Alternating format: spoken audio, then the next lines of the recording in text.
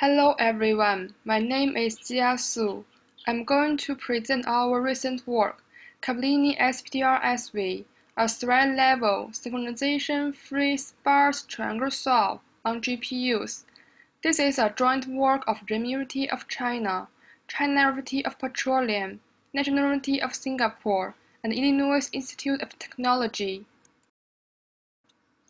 This is outline of our presentation.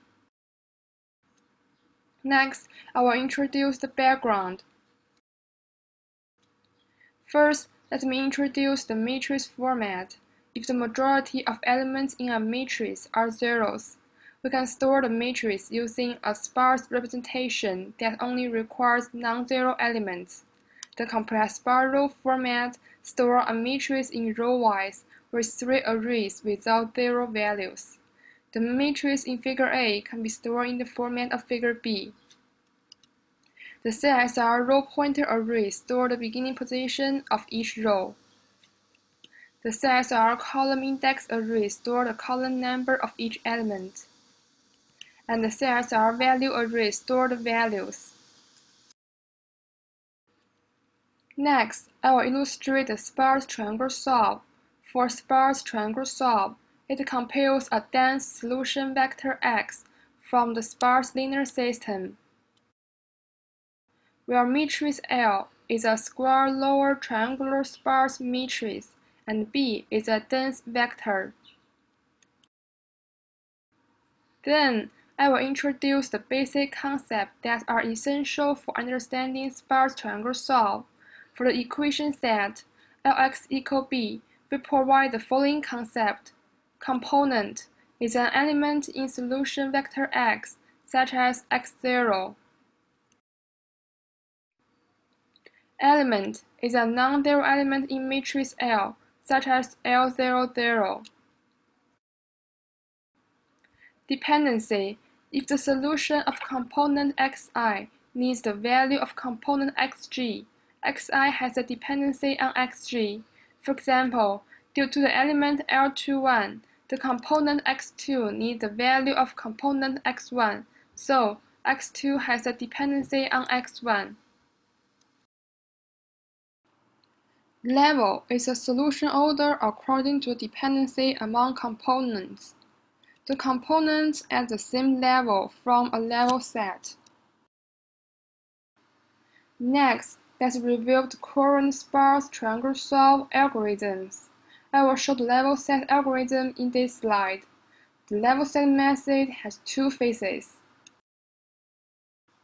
The first is grouping nodes according to their rows or columns that can be consumed in parallel.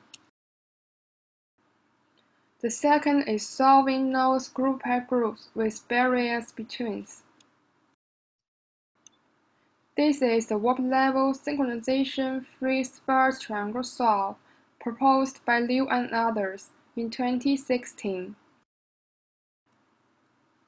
The algorithm computes components X in the original row order of the input matrix and uses one warp to compute one row.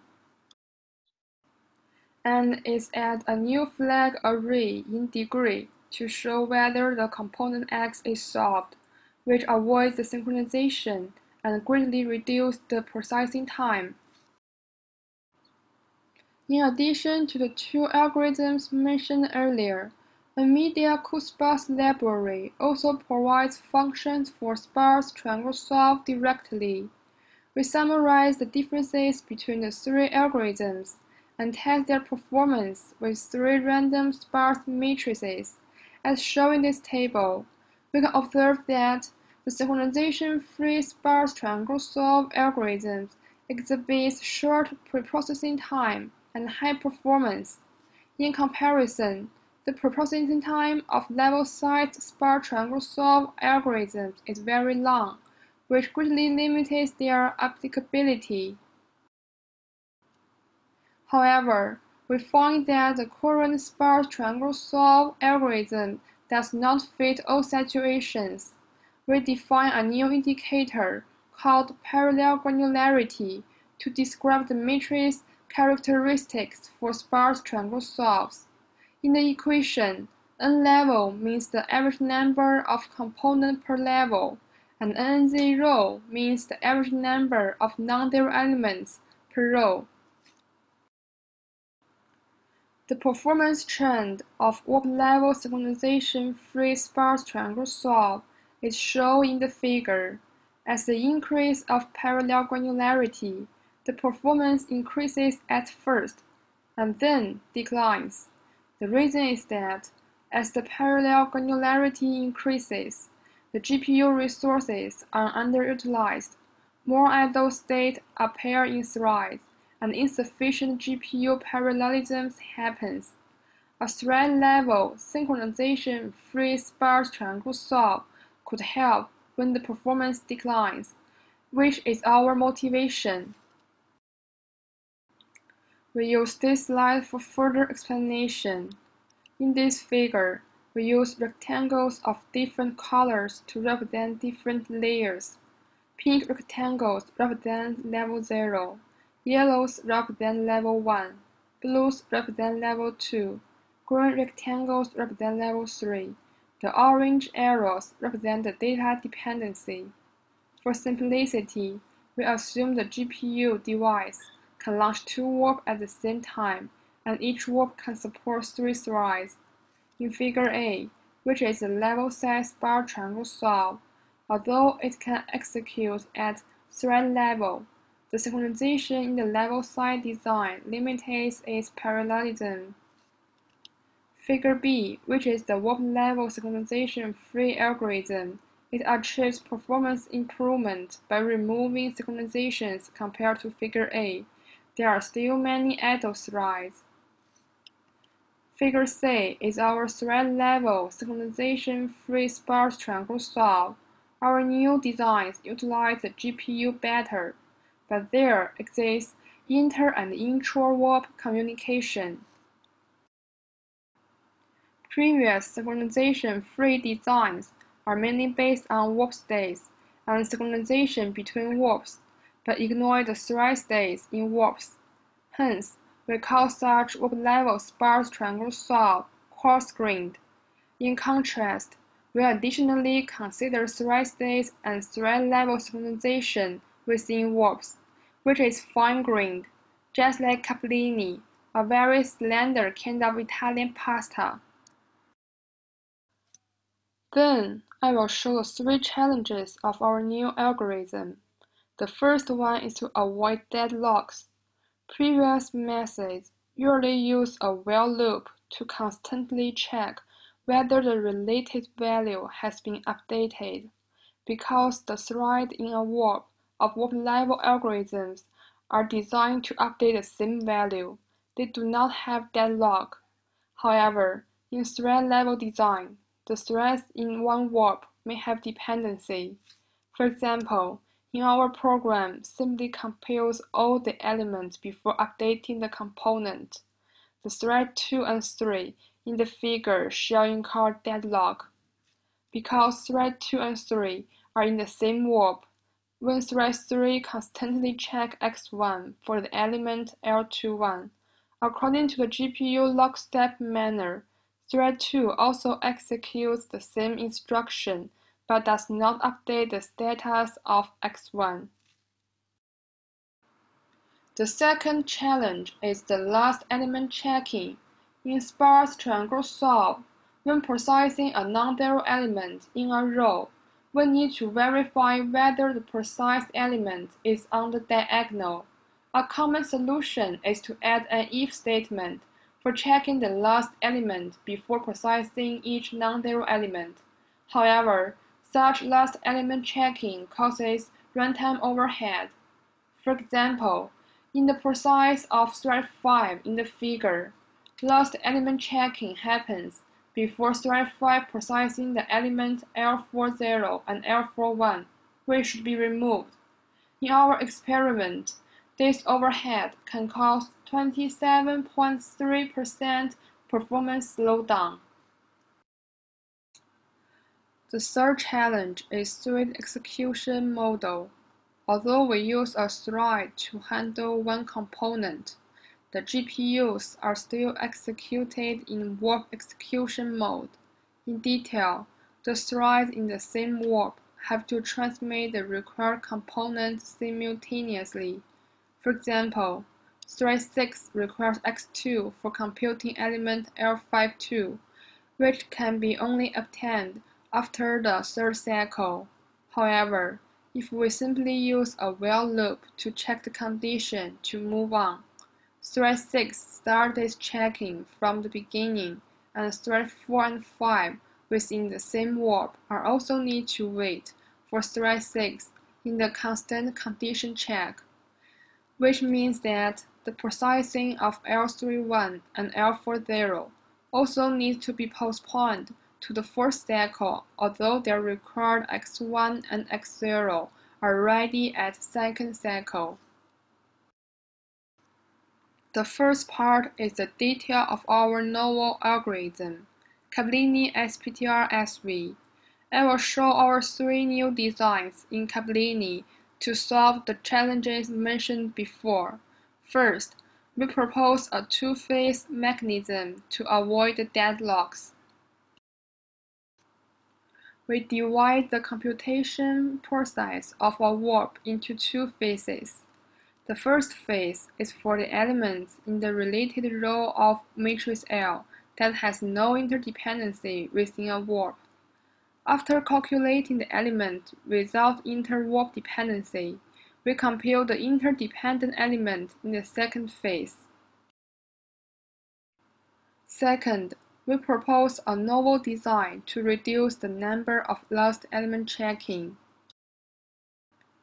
First, I will introduce the two functions marked in red before. In the first phase, the element without inter-warp dependency can be processed directly and do not cause deadlock problem. So, we use a traditional busy waiting strategy to compute the elements, with showing function precise while loop. In the second phase, since threads in the same warp execute synchronously, the traditional busy waiting method cannot be used Instead, the thread has to check the finishing condition. To reduce the number of checking, we find that if the function checkSolve is true, the element must not be on the diagonal. Thus, we only need to check the elements whose relevant components x are not ready. Third, we propose a writing-first optimization that threads can compute the element and write the partial result first without waiting for other threads. We remove the computing part in the first phase and expand the scope of the second phase computation from the interwarp-dependent element to the whole element in the row so that threads can compute the elements and write the partial result first, without waiting for other threads.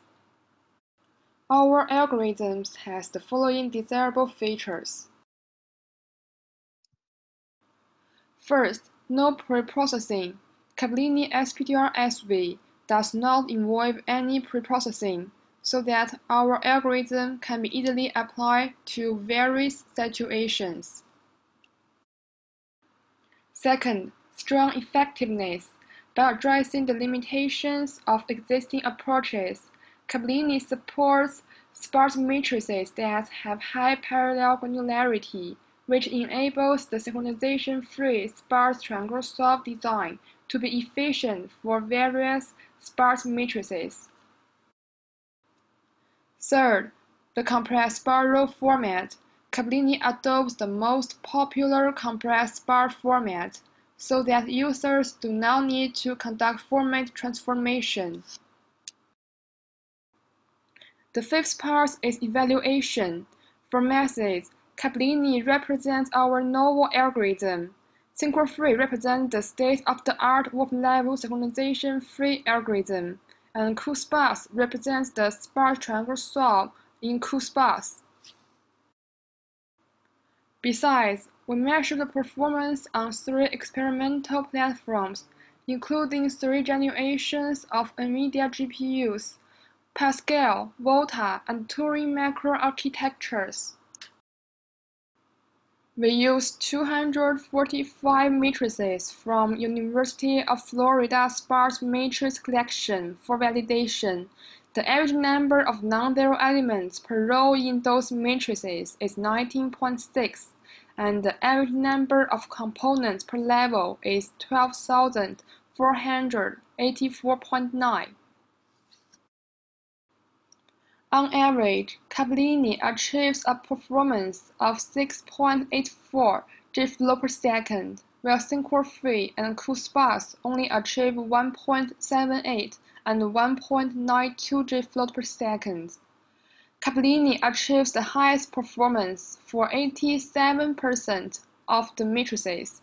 We show the performance results for different algorithms on various GPU platforms in the figure which shows that Capellini brings significant performance benefits.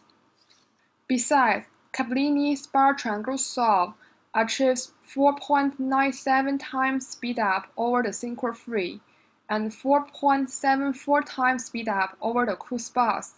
We show the performance speedup of Capellini over Synchro free in the figure, and we can see that the performance benefits increase along with the parallel granularity, specifically at the parallel granularity of 1.18 for the matrix LP1, Capellini reaches an average 34.77 times performance speedup.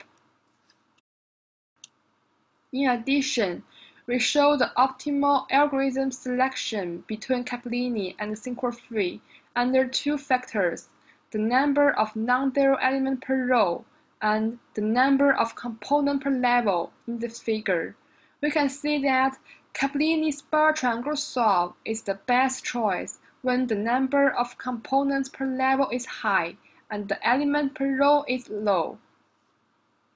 To further analyze the benefits of Capellini, we perform a detailed performance analysis. This figure shows the bandwidth utilization. We use the NVIDIA Performance Analysis tool nvprof to obtain the DRAM read and write bandwidth. Capellini SPTR-SV achieves an average bandwidth of 56.09 GB per second for the matrices whose parallel granularity are larger than 0.7.